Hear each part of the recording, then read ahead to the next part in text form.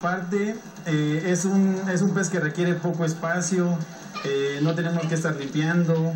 Son, son muy buenas mascotas este, porque nos relajan si vamos a trabajar y somos personas que andan de aquí para allá muy estresados.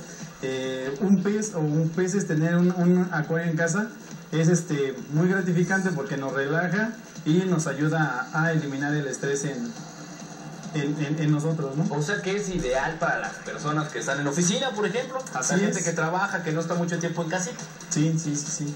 Ok, Sí, oye, es- para tener un pez o unos peces, ¿qué necesitamos? ¿Qué equipo necesitamos para tener? Mira, bueno, de principio eh, nosotros vamos a necesitar lo que es una pecera.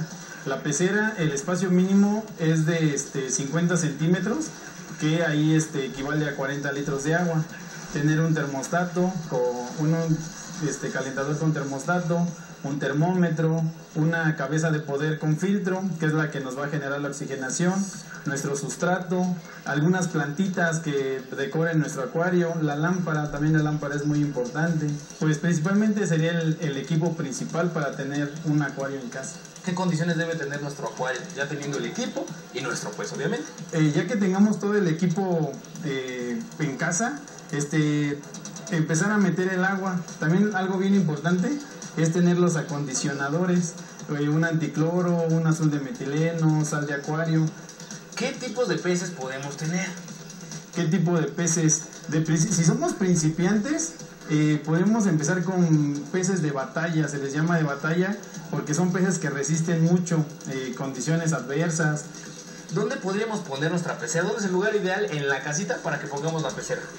El, el lugar ideal es en un lugar eh, apartado de ventanas y este patio. Eh, en contacto con el sol, eh, la temperatura del agua se van generando algas. Entonces las algas nos generan turbidez en nuestra agua. Entonces tenemos que ponerla en un lugar, eh, en un rinconcito alejado de, de ventanas y con la luz este, es bastante, bastante bien tener nuestra, nuestra pecera en casa. ¿Qué eco- ecosistemas podemos tener en casita? Mira, en cuestión de peces, eh, lo que es el, el ecosistema, eh, el ecosistema principalmente es lo que ya estamos generando, ¿no?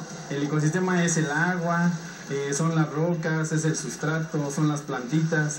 Entonces, este, lo principal que hay que hacer es siempre que vayamos a un acuario, hay que preguntar eh, qué tipo de peces podemos combinar y cuáles peces tenemos en nuestra casa o decir que somos eh, principiantes en el, en el tema en tener acuario y qué peces nos recomiendan para poder meter en nuestro acuario. Porque hay peces agresivos, hay peces muy agresivos, hay peces muy tranquilos, hay peces de agua fría, hay peces de agua cálida. Entonces sí habría que ver la compatibilidad y si se pueden llevar y si pueden estar juntos eh, las especies de peces. Benjamín, muchísimas gracias por estos consejos que nuestros amigos yo creo que les van a servir en casita. Yo soy su amigo Ernesto Orozco y les traje una opción más de mascotas para que ustedes tengan en casita. Además que adornan, relajan, son una buena compañía.